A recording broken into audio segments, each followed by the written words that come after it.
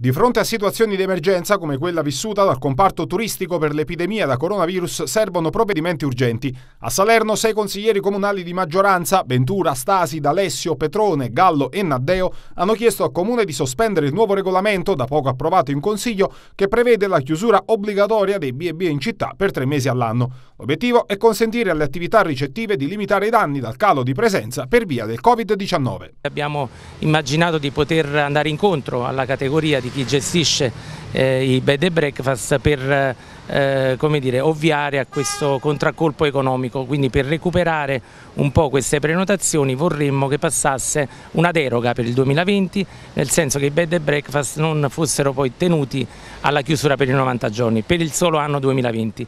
Ci sembra un piccolo, dire, una piccola attenzione per eh, dare una mano a chi è in difficoltà, a questi settori della nostra economia cittadina che vanno in difficoltà per, per questa emergenza coronavirus. Tutto qua. Intanto in provincia a Salerno un nuovo incontro coordinato dal prefetto per individuare percorsi comuni nel contrastare l'emergenza da coronavirus.